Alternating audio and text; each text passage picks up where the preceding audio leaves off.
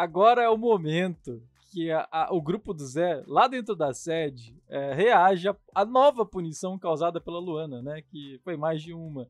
Eles comemoram, eles dão risada, eles entram na onda, afinal a Luana é, tá causando uma punição atrás da outra, baseado no que ela não quer ouvir, né? Digamos assim. Então, bora esse momento aqui.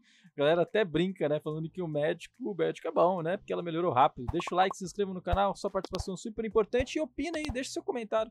É super bem-vindo você tendo uma opinião diferente da minha aqui. Essa é a intenção mesmo, a gente comentar sobre o jogo, ok? Vamos lá.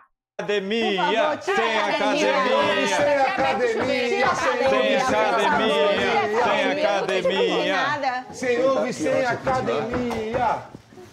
Melhorou rápido. Não, se for sem academia, eu vou Gente, esconde os móveis. Vou virar o microfone. Esconde os móveis. Dá punição, punição, punição, punição, punição, punição. Sem ouve, sem academia, sem ouve, sem academia.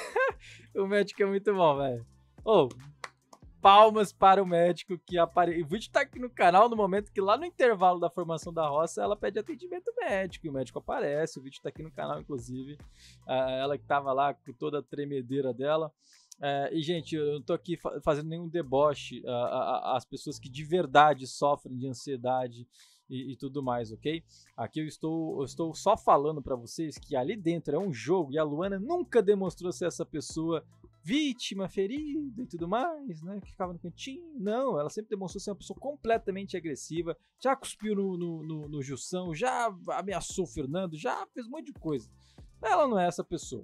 Pelo menos não me convenceu, beleza? Se te convenceu, maravilha, tá tudo certo, não tem problema. Mas eu não caí nessa aí da Luana, não, beleza? Então, para mim, é, era tudo fingimento na minha visão.